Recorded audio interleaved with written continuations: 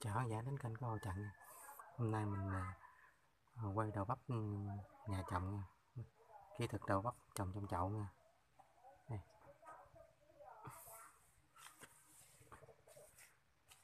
Này là khoảng à, 50 ngày có trái. Đây. Có trái là gai.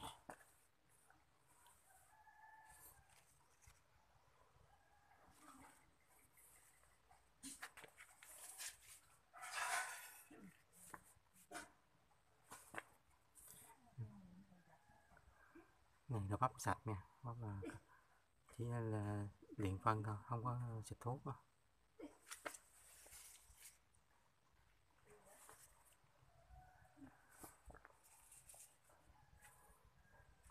nhìn rất tốt có trái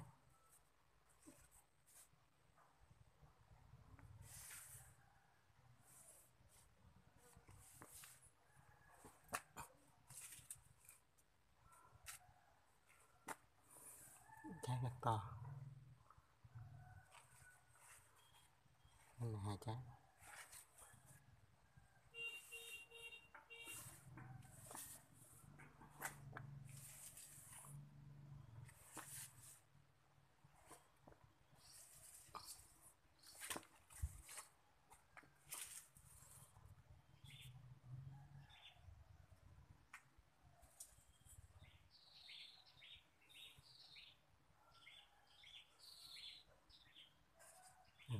mình sẽ mua cái chậu về mình sẽ bỏ đất vô.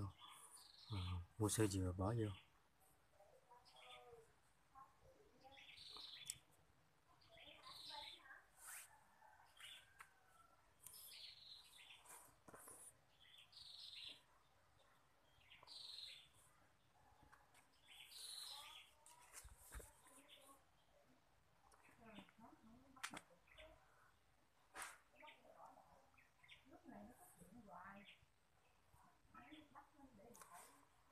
Này trồng sau khoảng ờ, 50 ngày sẽ có trái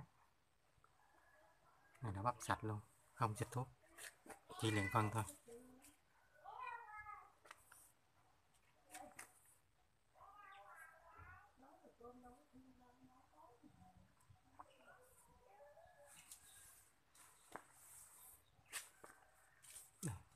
Bông rất đẹp luôn ra bông lại gài lại gài này là dùng cái chậu bỏ đất, bỏ xây dừa vô.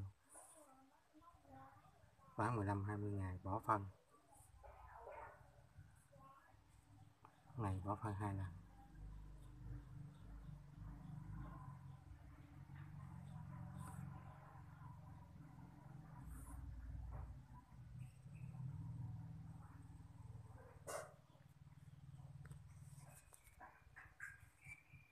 Video mình cũng vậy, mình kết thúc ra đây nếu thầy xin một lại một lần. Cảm ơn các cô chú. mình